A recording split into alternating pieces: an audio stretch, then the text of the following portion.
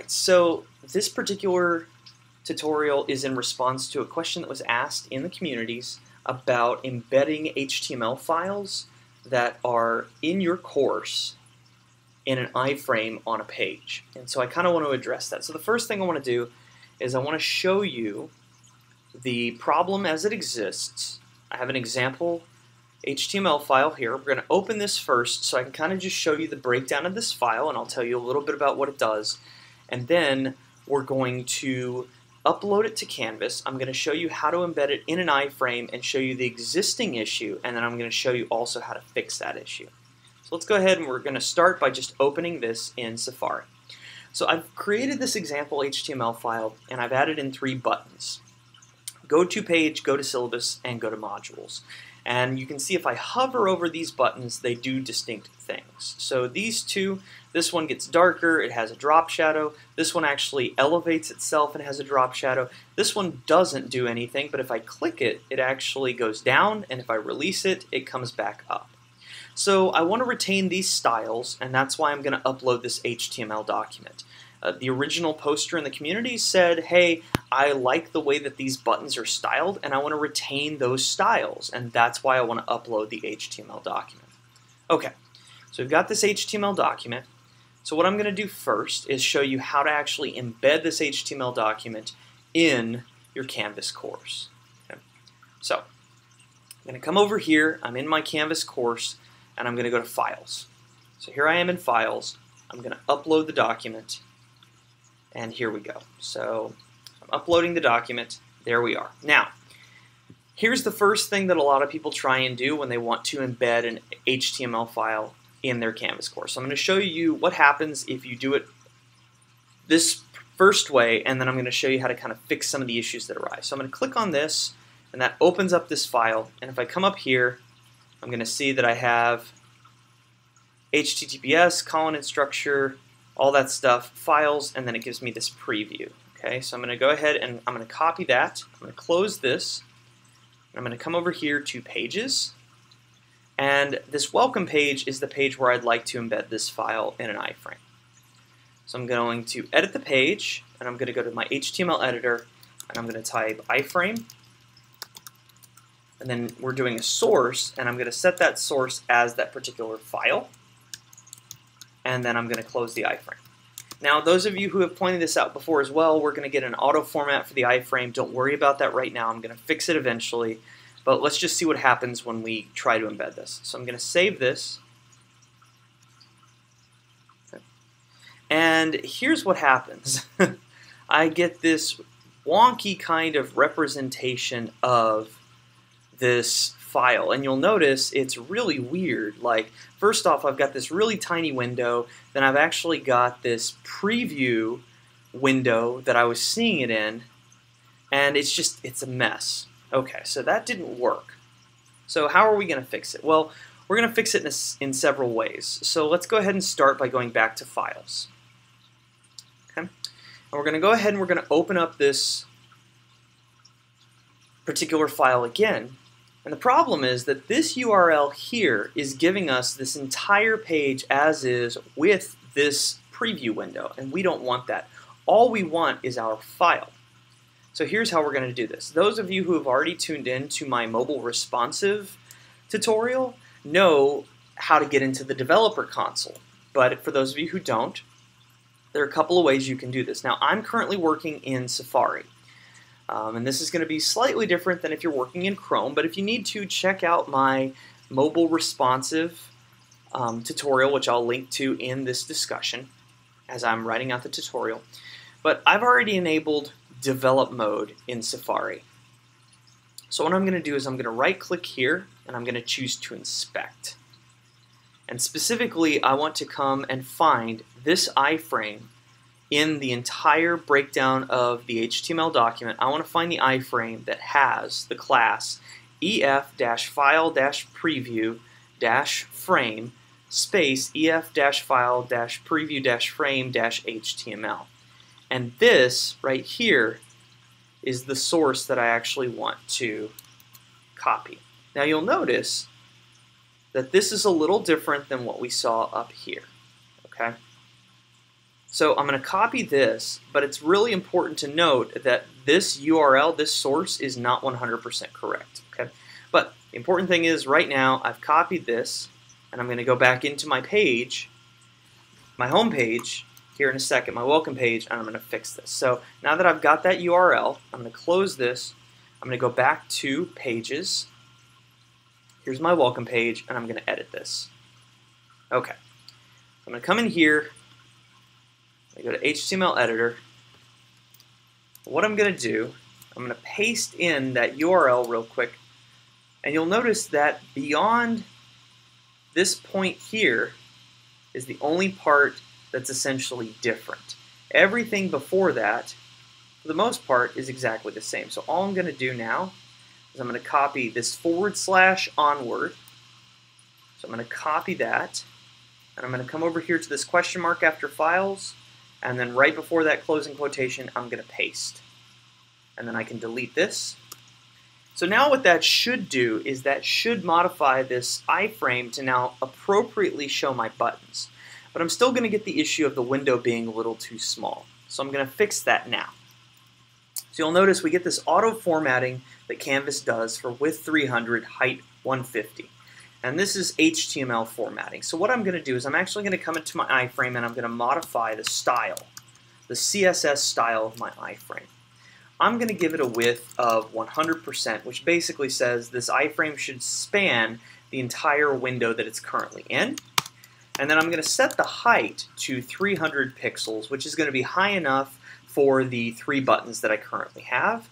And then I'm also going to add in another parameter called overflow, which basically my iframe is going to scroll, and it could potentially scroll endlessly, which would be a little annoying because it's going to be scrolling within a window that already has technically some scrolling. So I want to eliminate scrolling because my iframe is going to be high enough to contain all of the buttons I have.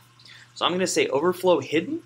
And then to ensure that there's no scrolling, I'm going to come over here at the end. There's an HTML parameter for iframes that also dictates scrolling, and I'm going to set that to no.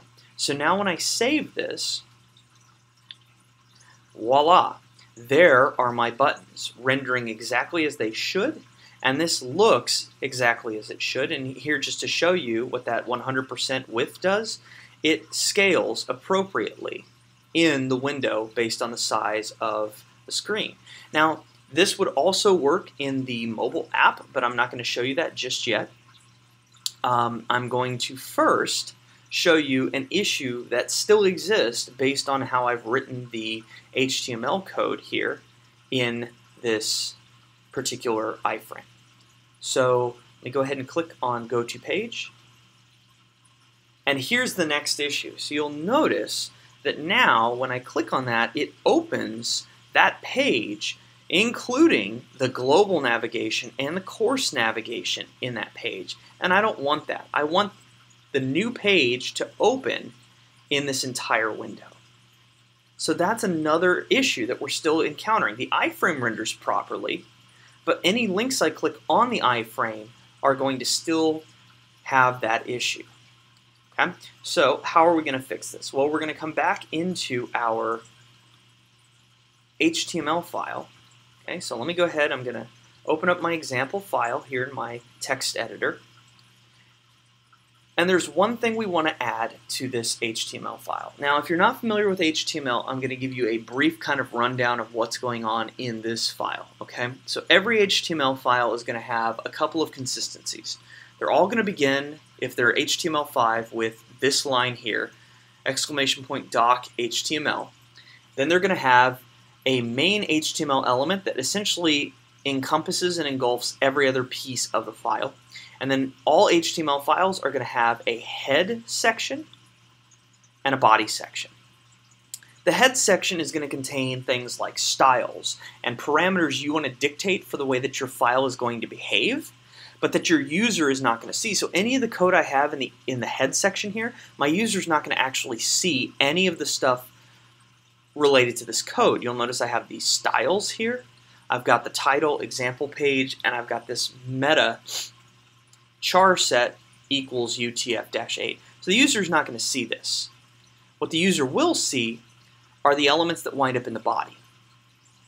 So here's where I have those three buttons that I've built, and the styles in my head are going to actually dictate what those three buttons look like. So this is where I've broken down what all three of those buttons look like and how they behave. So if you're Neo in the Matrix, this is essentially where you're kind of seeing the code behind the matrix.